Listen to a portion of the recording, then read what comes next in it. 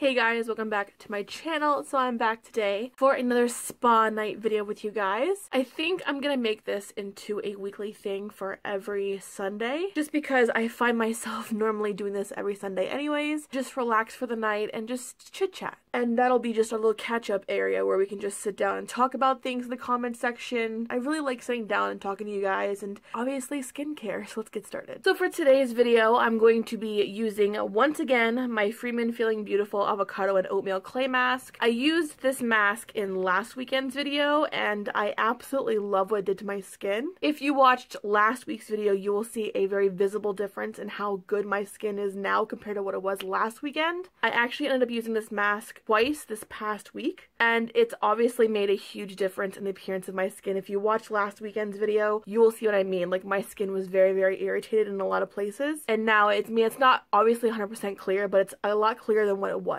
And I owe all of that to this beautiful mask. So for today's topic, we're going to be discussing YouTubers who take advantage of their subscribers. Actually, we're going to be discussing one in particular in today's video, but this is not the only person who does it. There are tons of YouTubers who unfortunately see their subscribers as their own like little ATM pretty much, and they like to ask way too much of them. Alright, so yesterday morning, I was obviously on YouTube checking up on what was uploaded the night before, and I ended up going to my suggested videos list that we all have on our channels, and one of Kendall Rae's videos popped up and it was this one. So, I hate this video. I hate having to do this. Um, I feel bad even talking about this. This isn't the kind of content I want to be doing. But I have to tell you guys what's going on. And um, I really hope you guys take the time to listen to this video because it's really important. I have literally been crying so much the past 24 hours and I had a really bad panic attack today. I don't know if you guys, I tried to hide it with makeup, but I have really bad bags under my eyes because I slept like four hours last night. So let me fill you guys in what's going on. I really need your help and I really need you to listen to this video. I am very concerned about my future here on YouTube and the future of this channel. At the rate that things are going right now, um, I probably will have to close my channel. This channel is everything to me. Um, I did it for years without being paid. I started this channel in 2012. It's been such a labor of love and I, YouTube's like the most important thing in my life and you guys are so important to me and this idea of losing it all is really scary. A very long time ago, I want to say like two years ago now, I was subscribed to Kendall Rae because she at first was a beauty related channel. However, over the past few months, she has quickly transitioned from being a beauty related channel to being a conspiracy theory channel, which even though I'm all for conspiracy theories, just the way she portrays certain things and the way she comes across in a lot of her videos is very, very arrogant and very ignorant with what she says. And I say that because, especially when it comes to the comment section of the videos, if anybody doesn't agree with what she has to say, or if anyone tries to argue a point against what she has talked about in the video, I've noticed that she gets very combative with certain people. She gets very, very nasty. It looks like she doesn't like to be proven wrong. She doesn't like to be argued with on her point point. I could never support somebody who is against letting other people have their opinion on certain things, especially like especially when it comes to conspiracy theories. Like why is it that she's allowed to have her opinion on her channel, but she is so closed off and so against other people talking about their theories and their opinions on those conspiracy theories. You guys know here in my channel, I have an open door policy. You can come and talk about anything in my comment section and it's okay. And who the fuck would I be if here I am giving you guys my opinion, but I completely blocked all of you guys off from giving me yours. You know what I mean? Like, that's just not fair. So that was the main reason why I just kind of did away with her channel because it just wasn't my thing anymore. So anyways, I was on my suggested videos list thing here on my channel and I saw one of her videos pop up and the title is what grabbed me initially. Because the original title before she changed it was something along the lines of I'm closing my channel or I'm quitting YouTube, something like that. You know what I mean? Something the generic I'm leaving YouTube kind of title. So I clicked on it because I really did feel bad because I was like, even though I don't like her content, at least I didn't for the last few months I was subscribed to her, doesn't mean I want her to fail. I would never wish failure upon anybody because whatever you put into the world, you get back tenfold, you know what I mean? I believe heavily in that shit, so I genuinely felt bad for her because I thought something had happened. Like, it was not that at all.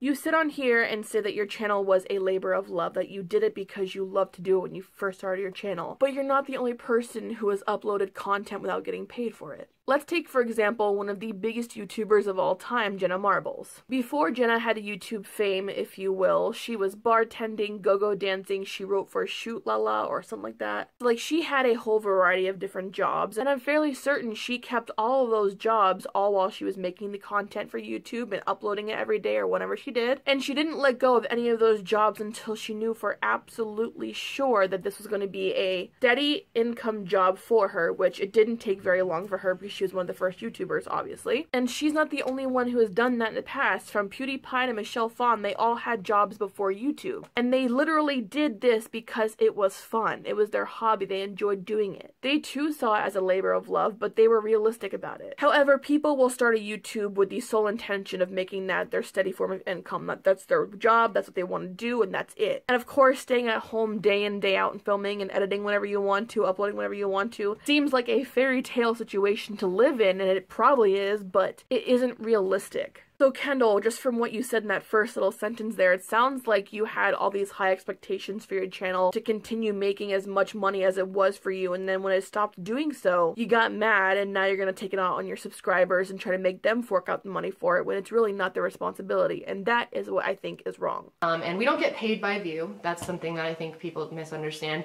We only get paid if an ad shows on the video, which it's not gonna show on every single video you watch, so we're not making nearly as much as you think and being paid for these ads is like a couple cents. So it's very hard to make it on YouTube and make it a sustainable living. It is extraordinarily hard to not only make it on YouTube, but to live off of what you make off of YouTube unless you're literally making millions of dollars each month, which definitely doesn't happen for everybody. I don't know why everyone has this like delusion of grandeur. They're gonna start their channel and be able to live off of it right away. It's just not gonna happen. I'm sorry. It's just not a realistic thing. I have to make money on YouTube in order to keep doing it. If I can't make enough to just support myself and pay my bills, then I can't do this anymore. So I'd have to close my channel, which literally breaks my heart because I cannot afford to go get another full-time job and then do all this extra work on the side just for fun and for free.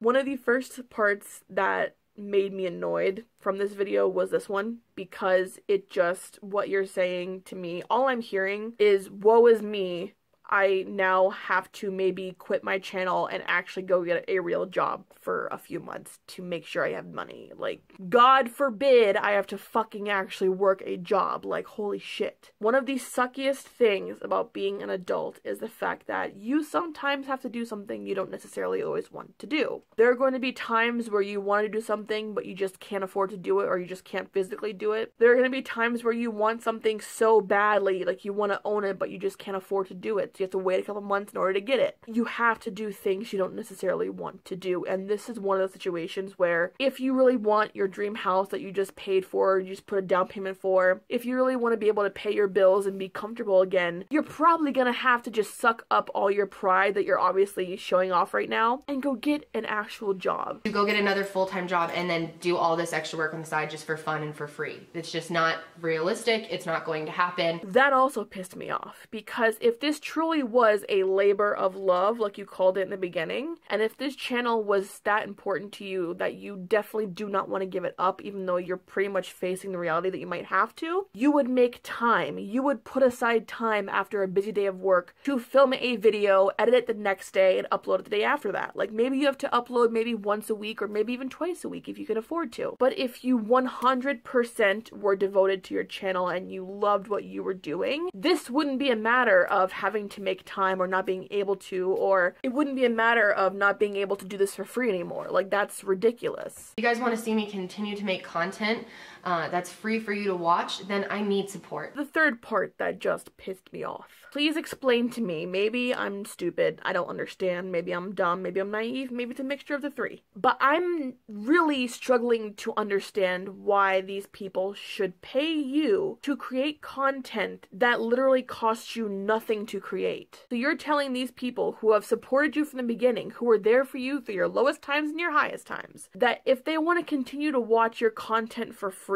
that they have to help you out financially and they have to support you financially. Otherwise, it's just not going to happen anymore. Mm. That is wrong. Number one, you are not a beauty channel anymore. So you don't need to go to the drugstore and pick up a pack of makeup wipes that were just released from a certain brand to review them on your channel. That's not something you have to worry about anymore. You're not a fashion blog, so you don't have to worry about going to the nearest H&M, getting the new shirt and trying it on and hauling all these new clothes and things like that. All you do on your channel is conspiracy theory videos. Literally something that everyone can do for free on their own time, on their own laptop, in the privacy of their own home, but you're going to charge them in order for you to keep doing these videos, even though you pay nothing to create them. Where is the sense in that? So it's been about an hour since the last clip to this clip, just because I had to stop and do my wifely duties and make sure my husband had something to eat for dinner. He had to go paint his sister's new apartment, and I wanted to make sure that when he did go, he wouldn't go on an empty stomach, so I had to stop for a couple of minutes, but now I'm back, so let's continue. The bottom line is, as someone who watched your video, the way I took it was you were giving your subscribers an ultimatum, basically. Either they donated the money to you and your channel would continue, or if they didn't, your channel was just gonna stop and there's nothing they can do about it, pretty much. But here's the thing, it's not your subscribers' responsibility to fund your channel. That's not what they're there for. Your subscribers are not a personal bank account where you can take out money whenever you need it. Your subscribers give you enough support by subscribing alone, sharing your content, commenting on it, viewing it, just by being there when you upload your content. They're the ones who are supporting you, who are giving you the success that you have. So don't you think it's a little bit much to sit there and not only ask for money, but also to demand it pretty much by giving them an ultimatum? You know damn well your subscribers who are hardcore subscribers of yours who have been there from the beginning are going to donate money no matter what they have to do. And I'm sorry, the award or reward tier you have going on for people who donate is ridiculous. Why the fuck should anyone pay you $50 for a fucking Twitter follow back? What does that bring to them? I'm sorry, but the minute my subscribers follow me on any social media, I follow them back. They don't have to pay me for anything. I literally, if I were one of your subscribers and I watched your video, I would feel offended by what you had in that video because, like I said, not only are you expecting them to cash this money out to you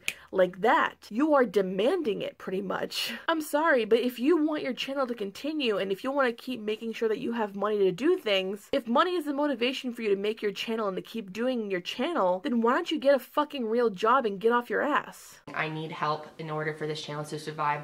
Without fan funding, this is not going to work. I can't continue like this. I can't change my content. So I need your help. I need your help to keep this channel alive. If I've ever helped you, if I've ever taught you something or encouraged you to love your body or made you smile and laugh, please, please consider helping me. If I can't get to a decent amount on Patreon where I can at least cover my bills from that, I can't do this anymore. Then bye. What you're saying right now, using that against your subscribers, saying that if I don't get your help, this channel is gonna die. Don't put that on them. That's on you. It's not on them. Grow up you really do need to grow up and realize that what you're doing is wrong. To put up a page uh, like Patreon that you're using right now, or even GoFundMe, which don't even get me started on GoFundMe. I'm not going to sit here and tell you that I fully endorse that kind of thing. I obviously do not like when people use things like that for something as minuscule and as stupid as this when you can easily fix your own problem by getting a fucking job once again. But if you really are that against going to get a job, at least be kind in the way you ask for things like this because all you're doing is sound like an asshole, like you're entitled to it. Like they're the ones who owe it to you because you made them smile. Like, fuck off with that. That's so rude. I just want to be able to focus on the content because I love what I do. I'm gonna be putting out merch soon. It's I'm gonna be putting out merch soon. It's like been way harder than I thought.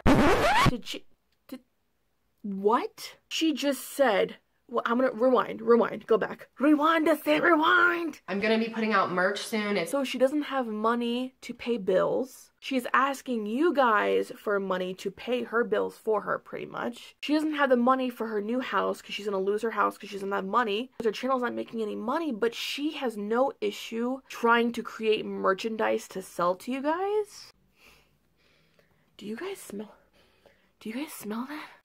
I don't know if it's just me, but I keep smelling bullshit. Honey, What the fuck are you doing? You're demanding money from your subscribers, but you're spending your own money on merchandise. Wouldn't that money that you're spending on merchandise be better spent on the bills that you struggle to pay for with your channel? Wouldn't that money be better off spent on the house that you're about to lose because you can't afford it because of your channel? Am I wrong? Am I seeing this differently? Like, please tell me I'm not the only one who sees through this girl's bullshit. If you have money to spend on merchandise, which by the way, is super expensive to create, then why don't you have the money to keep your channel going? Why don't you have the money to pay the bills that you struggle to pay because of your channel? Why don't you have the money to pay off the fucking house that you're about to lose? At least you say you're about to lose because your channel is doing very badly. Support small YouTubers, you know, even if it's a couple dollars, like I said, support people who need it because we feel like at least I do, that YouTube's trying to push us off because we're not as easy to make money off of. So we need to fight back and the only way to do that is by having our fans support us and building a base that we don't need them. I would never ever ever ask you guys to give me any sort of monetary thing ever because I don't need it. If I can't afford it myself, then I obviously don't need it that bad. And if I do want something, I will work my ass off until I can afford to get it for myself because I don't need your money. The one thing that I hate about people like Kendall and Amy Slayton is the fact that all they care about is their situation. They fail to recognize the fact that there are people in this country who are struggling to survive to the next day. And maybe it's not that bad, but in some cases, in some very rare cases, it is. For instance, countries like Nicaragua, where my family's from, from. My grandmother used to do missionary trips there, and she used to go to the thrift shops around Delray where we used to live, and she used to collect clothing items, like little kids' clothing items, women's clothing items, men's clothing items. She made sure she would go to Nicaragua when she'd go visit, but she would never go empty handed. She'd go with food, shoes, toys, toiletries, clothing, whatever she could fit in her suitcase. She would bring more for the people of Nicaragua in the town that she was born and raised in than she would for herself there are people in that town and she would tell me stories about it every night. Whenever I would be combative with her against eating food, if things had peppers in them, I would never want to eat it. And she would tell me, You have no idea how lucky you are to have this food in front of you because there are people back home in Nicaragua who are currently digging right at this moment, digging in huge, disgusting trash piles for any scrap of food to put into their stomach to have something in their stomach through the night so they don't go to bed hungry. And more than half the time, the parents of the kids, they'll give the kids kids food and they'll go hungry just to make sure their kids are fed at night. But you want to complain about fucking AdSense and fucking money for your channel? I can't pay for my house. I'm gonna lose my house. God forbid you don't get money from your channel.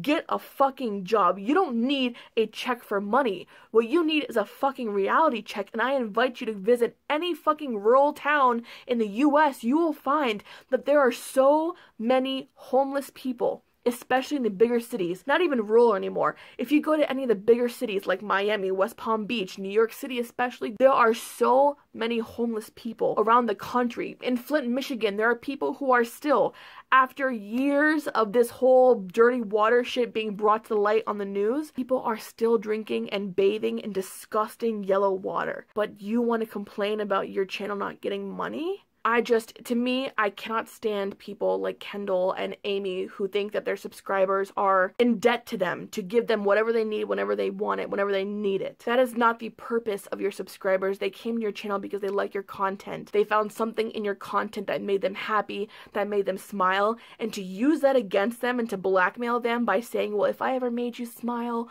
or if I ever made you feel better about yourself, then can you please donate to me? And like, no, fuck you, bitch. Sorry, I'm not going to. And if you want, I'll give you my fucking smile back if that makes you feel any better because quite frankly, it's not worth it. But then again, like I say in all my videos, it's all up to what you guys think. It's up to your interpretation. I just bring you guys what I think, and you guys can go off that if you'd like. But it all comes down to the fact that these YouTubers are getting too fucking comfortable with asking their subscribers for money to fund their channels. If you can't afford to have a YouTube channel, then you should probably get off YouTube and get a job before you start to think about making another YouTube channel because it's not going to be for you. YouTube is for people who genuinely like to create content and to have a subscriber audience who likes to interact with them and to talk to their subscribers. Like like that's what I see YouTube as. It's my hobby. I love doing this. You guys are my subscribers, and I would never in my life ask you for anything because I know that there are people in the world, even some of my subscribers who are currently struggling to make ends meet. So to ask that much of you guys would be insane and so selfish of me. But I guess that's just the way it is, and not everyone believes in making an honest living, and that's just the way things are. So, anyways, guys, I'm gonna get on off of here. I think I've made my point for tonight. I'm gonna edit this video and you guys will see it tomorrow, but I love you guys so, so much. As always, leave your comments and opinions down below. Let's have an adult chat, and I'll talk to you guys tomorrow.